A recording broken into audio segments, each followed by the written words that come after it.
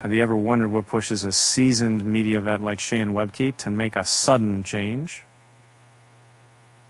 Imagine yourself standing on the doorstep of this Brisbane home, watching you as the curtains gently part to reveal a different chapter in his life.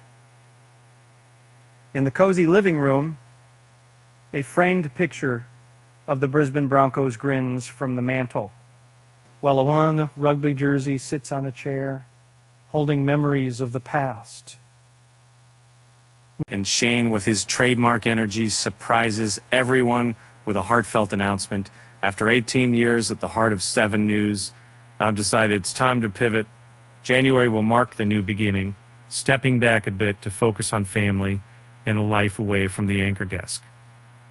Within the industry's dynamic landscape, signals of change have been quietly spreading like whispers through the corridors of Channel 7. Losses in staff, budget cuts, and a shifting tectonic plate beneath the TV news world. These factors were gradually altering the familiar ground for Shane and his colleagues. While Shannon's departure wasn't only due to his heartwarming decision, it echoed a broader trend shaking the network to its core from the iconic voice announcing the latest NRL scores to newsreaders finding new paths.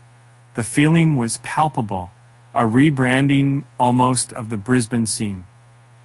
The road to detachment wasn't easy, with the network tying you in the Chinquan, who was shown the twinge of seasoned professionals like Robert Ovadia, who grappled with the complex intersection of journalism and personal turbulence, yet amidst the upheaval, of J-panel whispers of change and adaptability resonated amidst the SAUN allegations and stories of a toxic working environment.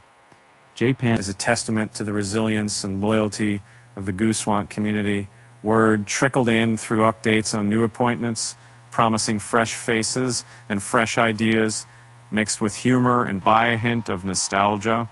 Shane invited followers to stay tuned, like and subscribe for future revelations on the redefined workforce. But the peak of the story leaves you with a chuckle, as if to say, even in the midst of all this drama, Shane couldn't resist a playful jab. Retirement's not for losers. It's simply a pivot to greener broadcasting pastures. Um, with that said, thanks for watching and stay tuned for the next installment, unraveling the evolving storylines in the world of media and one man's courageous leap into the unknown. Until next time, keep your TV dials glued to 70 News and let the adventures continue. Thank you.